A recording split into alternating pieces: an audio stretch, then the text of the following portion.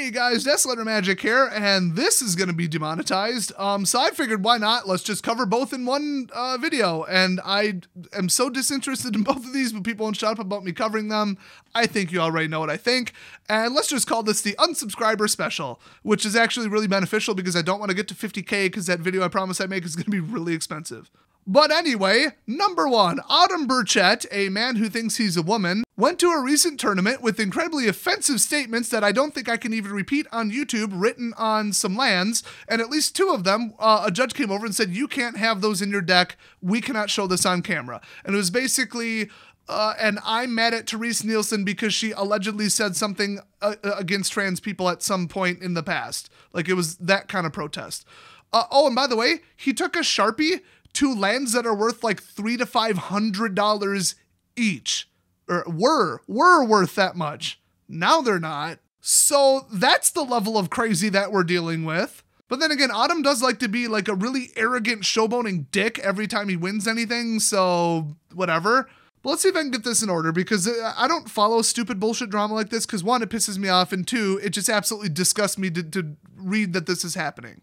So, Terese Nielsen has been making art for magic for a long ass time. She is a lesbian. Uh, at some point, she like hit like on a tweet by Trump like once or something. It's so- something about on par with that. I don't know the exact story, but yeah. And then some people think that she made an anti trans statement. I don't know what it was, but I remember at the time it was bullshit. Here, is this an anti trans statement? Uh, according to people who thought they were trans and then got the help they needed and then gave interviews and started websites and are campaigning all over the country to get trans people to not get surgery but to get the mental help that they need.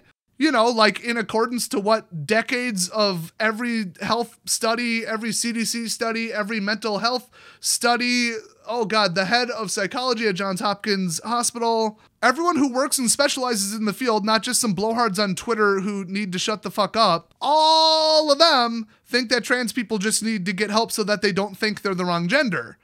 And included, like I said, included in that group is people who used to be there and are now better. Like, is that an anti trans statement or is that just reality? Or is that just the majority opinion? And true. Uh, that's not discrimination. That's just me telling the truth. And if I recall, that's exactly what Terese Nielsen, a super not conservative lesbian, said. So as far as the perceived Trump support, um, I voted for him because I voted against Hillary because she's a crazy bitch. But I'm not in one of those super polarized, my team is always right and your team is always wrong, you know, idiot fights. Trump is an arrogant, clueless asshole who doesn't believe in global warming. Like, what the fuck? Who's that stupid? He's a womanizing, offensive, disgusting human being. And half his decisions, which actually affect the entire world, not to mention the entire country, are about his ego and his image. But guess what? there are certain things we need to do to get jobs. There are certain, you know, illegal people coming in who are dangerous and running drugs into the country, and we need to do something about it. If he tweets out one thing that just so happens to be true and a really good point, and I hit like on it, oh my God, I'm in Team Trump. I'm 100% Trump all day, every day. Fuck off. No, I'm not. Neither is Terese Nielsen. So between the idiotic perceived anti trans statements and idiotic perceived support for Trump, Terese Nielsen got fired from Wizards of the Coast as an artist, pissing off everybody who leaves politics out of the game and just like her art and like her as a person. And I don't know if she's been rehired. I honestly don't remember. So Autumn is pissed that Wizards didn't get in a time machine and go back in time and unhire Terese. I guess. I, I guess that's what he wants done. That then he'll be happy because I guess he scribbled out her name on the card in protest to Wizards working with her like 10 years ago when she made the art for these cards. I, I, I don't get it, okay? But you know what? Don't try to follow the logic of somebody who got up a, a, couple months ago on the mic after winning a Mythic Championship and basically said, if I were to paraphrase, fuck white straight people. It's finally time for one of us to win. There's too many of you assholes in this game. And there were zero consequences or penalties for that, despite massive backlash. So you can say some discriminatory, racist, sexist, heterophobic bullshit into the mic as long as Wizards agrees with it, okay? But if I were to win a Mythic Championship and say, oh, thank God I won this instead of a black person, I feel like they might have a problem with that, even though it's literally the exact same thing with a word swapped.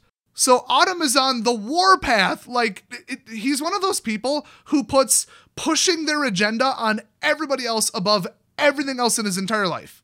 It's more important than what people think of him. It's more important than um, prize money. The most important thing in his entire life is screaming at everybody about how they're wrong and they need to accept everything and you need to go as far left as all these other nut jobs. And he's just one of those psychoactivist people who need to shut the fuck up, just like A.E. Marling and, you know, I could name a hundred others. Oh God, Jeff Boo Hoo Hoogland, who, uh, if I recall, that this is, if I'm recalling this correctly, tried to break up his brother's marriage before it happened because he didn't like his fiance's political views.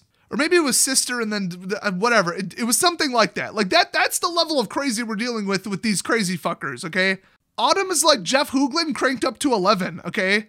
So you got the Terese Nielsen fans who are mad at Wizards and Autumn. You've got Autumn who's mad at the entire world. You've got Wizards who's mad that this is even a thing that's happening. You got uh, uh, Wizards is allegedly mad at the judges. The judges are mad at Autumn. And one of the two revised the statement later to say, no, it's not the trans statement, the pro trans statement, and anti discrimination statement that they took issue with, even though it is. Uh, the, the issue they took issue with was uh, scratching out the artist's name. That That's offensive. That's dis- disrespectful to the artist. You can't do that. So calling the artist a transphobe while making a political statement in a game that's supposed to have politics taken out of it, although this is Wizards we're talking about, that's fine. But crossing out their name on a card, now you've gone too far. So really, they're just trying to save face and please everyone, which is ridiculous. Um, just suspend Autumn. It's that simple. Just suspend him. He should have been suspended after that racist, sexist bullshit that he was spewing on the mic after he won the Mythic Championship a couple months ago. That was beyond unacceptable. It sounded like Nazi propaganda. So that's that whole shitstorm. So honestly, Autumn needs to be suspended for bare minimum a year for multiple accounts of, of violating every rule there could possibly be. Not to mention somebody forcing him to get the help he needs, because my God. So that's topic number one. Topic number two in the unsubscriber special. But seriously, if you take issue with what I'm saying, get the fuck off my channel, please. I don't want to associate with you. I don't want to hear your comments. I don't want to talk to you. You're fucking crazy. You've been drinking the Kool Aid and you must really like patting yourself on the back. Because, oh, the media told me I'm a good person because I follow their narrative. Get a fucking clue and, and get a fucking brain. Anyway, shitstorm number two is uh, you, you might remember Greg Weisman. He wrote that god awful War of the Spark book that everybody universally hated because it was written like a two year old wrote it. Everybody agrees he should stick to screenplays because books are not his thing, so naturally they contracted him to write two books. We already knew this when the first one came out. When it was even announced, they said no, he's going to write a sequel too. So I guess they had to stick to that because they'd be look like they're admitting that he was a, an incompetent dumbass if they canceled the second book. Or oh boy, had anybody else write it. that would have been funny. I used to be a writer for a company that was worth about triple what Hasbro was, and I was one of their top writers, so uh, hit me up, Wizards. So anyway, he wrote a second book. It came out recently, and I obviously didn't read it because I'd rather eat a pine cone.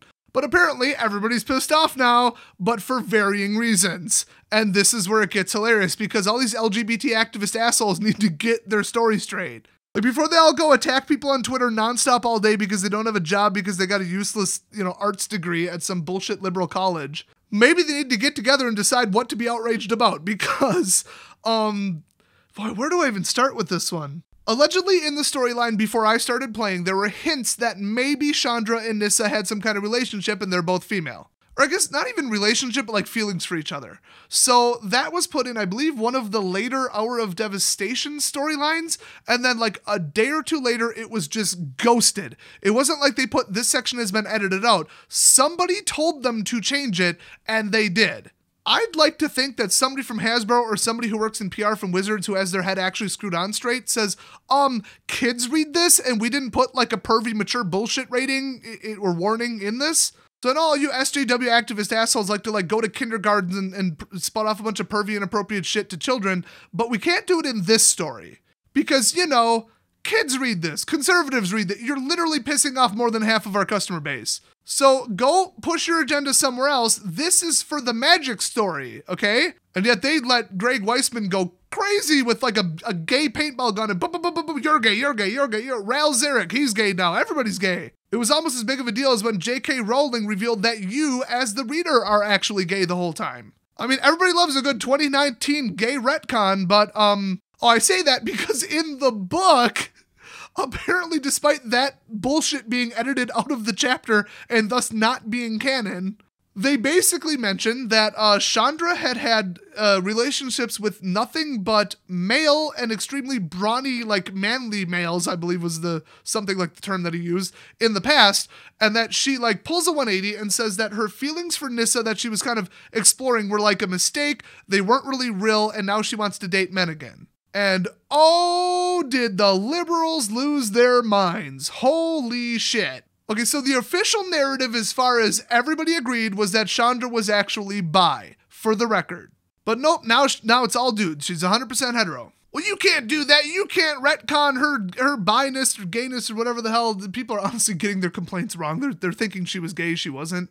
Whoa, whoa, whoa, whoa, whoa. Pump the brakes there, LGBT activist dumb fucks. I could have sworn that part of your narrative that you're spewing all the time are that your gender identity and orientation are malleable and can change over time. So you're mad that Nissa thought maybe she'd be into chicks as well, then had feelings for Nissa, then kind of explored them and decided, no, actually, I don't think this is real. But, you know, good on her for not denying it and, you know, looking into it and just seeing if, you know, maybe she was bi, but then she was like, no, I'm not. Okay, cool. That's literally what you're saying people are capable of. like, that's part of your agenda that you're constantly pushing on everyone. So, how is she not the poster girl for your bullshit? So some people are mad that oh no, you can't take one of our diverse characters, which I think she's still a ginger. I mean, come on, that's come on. I mean, that's practically a race, a minority, and a discriminated against group all in one. Anyway, no, no, no, you can't have her think that she's one way and then change her mind. That never happens to people in real life. No.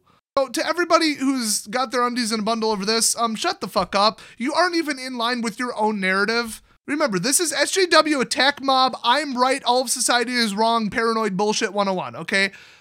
Latch on to anything. It doesn't have to be logical. It doesn't have to be consistent. It doesn't have to be correct. It doesn't have to match, you know, facts, science, reality, logic. No, all that goes out the window. The only thing that's important to your argument is yelling at other people about how they're wrong and you're right because that gives these SJW attack mob assholes warm, fuzzy feelings about what a great person they are which is very needed to them because they're terrible people and they know it. They're offensive, cheating, horrible, lying, awful, crime committing, just miserable, hateful pieces of human garbage. But if they can tell anybody, I'm more woke than you, I'm more accepting than you, you're a bigot, fuck you, I'm better than you, then they feel better about themselves. That's what this whole movement's about. Okay? It's not about rights for people, it's not about treating people with equality.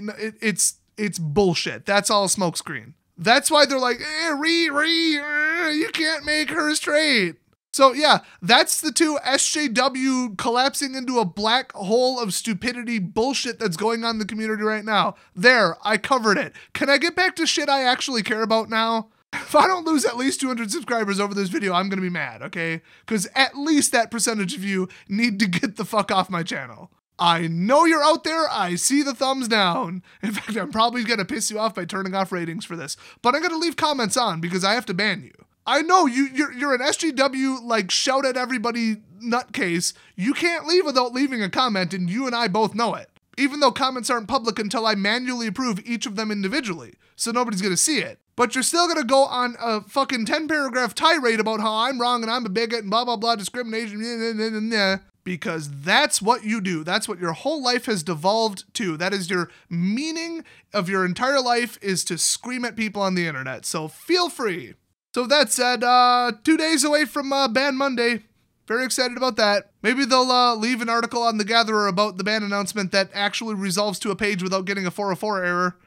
Like, for once. Hopefully they ban um, Oko, about 50 other cards, and Autumn Burchett. That, that's my ban list that I want.